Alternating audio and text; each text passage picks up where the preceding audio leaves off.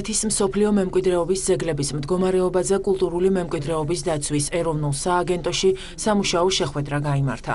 ექსპერტთა სამკაციანმა ჯგუფმა, რომელიც საქართველოს რეაქტიული მონიტორინგის მისიის ფარგლებში ეწვია ძეგლების საკონსერვაციო სარესტავრაციო მდგომარეობა და მათი დაცვის გაუმჯობესების საკითხები განიხილა. სტუმრებმა ქართულ სპეციალისტებთან ერთად მცხეთის მიწათსარგებლობის გენერალური გეგმის გათვალისწინებით სახელმწიფოს მიერ განხორციელებული ღონისძიებები შეაფასეს.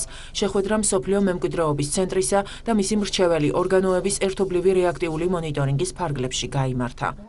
ეს არის ჩაულებრივი წესი იუნესკოსი, როდესაც კონკრეტულ ძეგლზე, სოფლიო მემკვიდრეობის ძეგლებზე, ასე ვთქვათ, ამოწმებენ, რა მდგომარეობა არის, რა მოლოდინები აქვთ, რა საკეთებს სახელმწიფო იმისთვის, რომ შეინარჩუნოს სოფლიო მემკვიდრეობის ნუსხაში ყოფნა, ასე რომ ეს არის ჩაულებრივი მოვლენა, არაერთი მისია განხორციელებულა ამისი, რაც ჩვენი ძეგლები იუნესკოში არის და ჩვენ მზად ვართ იმისთვის, რომ სწორედ აუხსნათ იმ დიდი პოზიტივების და იმ დიდი უკვე გადადგმული ნაბიჯების შესახებ, რაც მცხეთასთან მიმართებაში განხორციელდა. ჯვრის მონასტერი, სვეტიცხოველი და სამთავრო და მათ შორის ამ სამი მონასტრის ერთობლიობა, რომელიც ლანდშაფტშია მტკვრისა და არაგვის შესართავებით შექმნილი ფერწერული ლანდშაფტის დაცვის მიმართულებით. ანუ ეს ძეგლები არ არის მხოლოდ ესე ცალკე არქიტექტურული ობიექტები, ეს არის მშვენიერი ლანდშაფტისა და ძეგლების ერთობლიობა. ამიტომ მნიშვნელოვანია, რომ ჩვენ უზრუნველყოთ სწორედ ამ მისი ამ ღირებულების დაცვა. ცხეთის სივრცული დაგეგმარების შესახებ სამუშაო შეხვედრა ეკონომიკისა და მდგრადი განვითარების სამინისტროშიც გაიმართა. ღონისძიებას საქართველოს საპატრიარქოს კულტურისა და სპორტის, ეკონომიკისა და მდგრადი განვითარების სამინისტროების წარმომადგენლები და იუნესკოს მისიის წევრები დაესწრნენ. შეხვედრის მონაწილეებმა მცხეთის სრული ქალაქ-მშენებლობითი სტრატეგიის შექმნაზე იმსჯელეს. როგორც ცნობილია, აღნიშნული დოკუმენტის სრულყოფა იუნესკოს მთავარი მოთხოვნაა. უცხოელი ექსპერტები ქალაქ მცხეთაში საველე მისიის ფარგლებში ადგილზე არსებულ ვითარებასაც გაეცნობიან.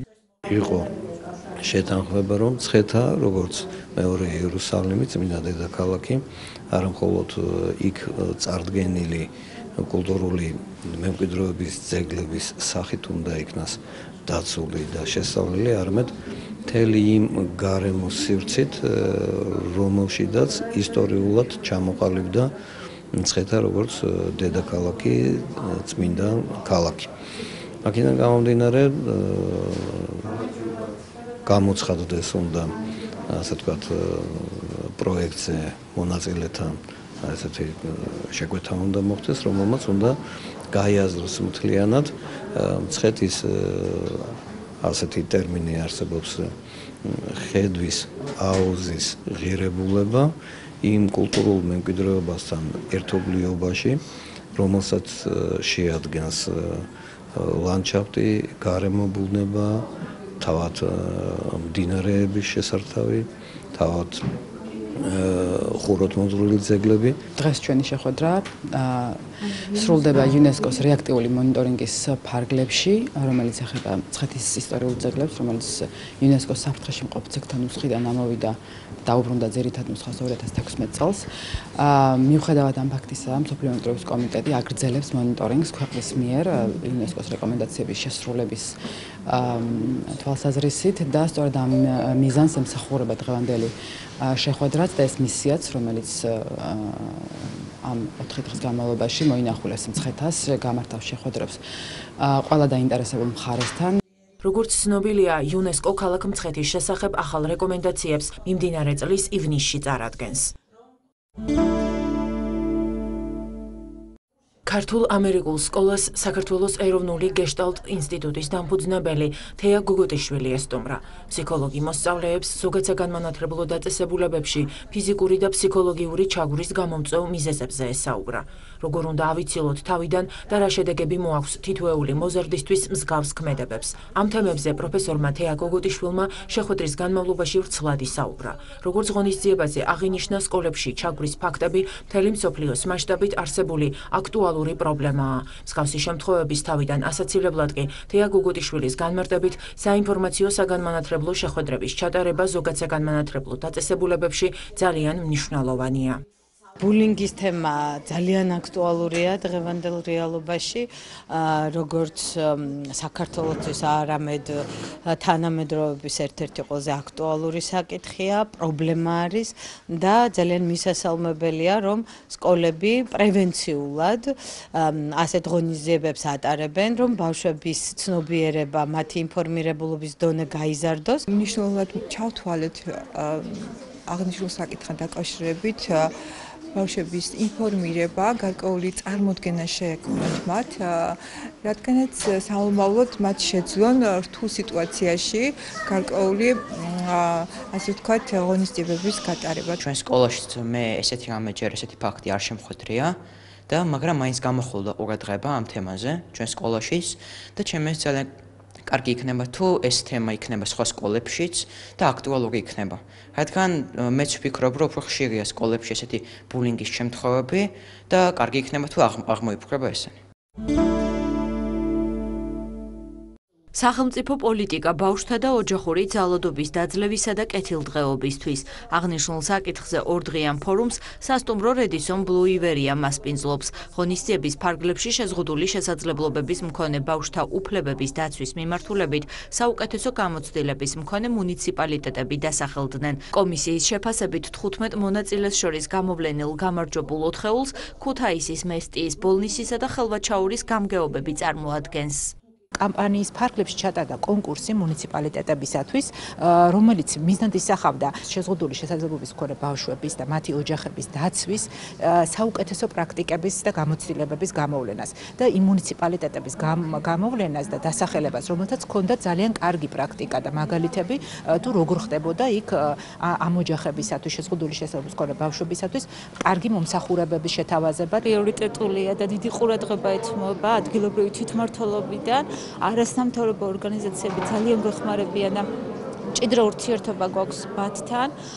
გამოყოფთ არასამთავრობო ორგანიზაციას ერთად რეალური ცვლილებებისთვის, რომელთან ერთად ვახორციელებთ სარეაბილიტაციო ცენტრის მშენებლობას. ეს პროექტი უკვე დაფინანსებაზეა მისული. ძალიან დიდი მადლობა მინდა გადაუხადა იაპონიის საელჩოს. სახიობისა და მწერლის გოგი ხარაბაძის ციგნის წარდგინება ბიბლუს გალერეაში გამართა. აღმართ აღმართ, ასე ეწოდება გამოცემას, რომელიც სახალხო არტისტის მოგონებებსა და პიესას აერთიანებს. ნაწარმოები ავტობიოგრაფიულია და თბილისში 90-იან წლებში დატრიალებულ ტრაგიკულ მოვლენებს ეძღვნება. აღსანიშნავია, რომ ციგნი მწერლის რიგით მეცხრე გამოცემაა. ღონისძიებას გოგი ხარაბაძის კოლეგები, მეგობრები და სასულიერო პირები ესწრებოდნენ. შეხვედრაზე მისულ სტუმრებს მწერალმა ახალი პიესიდან და მოგონებებიდან ნაწყვეტები თავად წაუკითხა. მთელი ცხოვრება მუშაობ ამ წიგნზე და ეხა გამოვეს. მოგონებები არის ავსე, ჩემი დროის მოგონებები ყველა არის და არის ერთი პიესა. რომელიც თბილისის ომს ეხება. ამ თემას მე მგონი არავინ არ შეხებია და აი ამაზე არის პიესა აქ. ამ წიგნში პირველად იბეჭდება პიესა და ეს არის ახალი.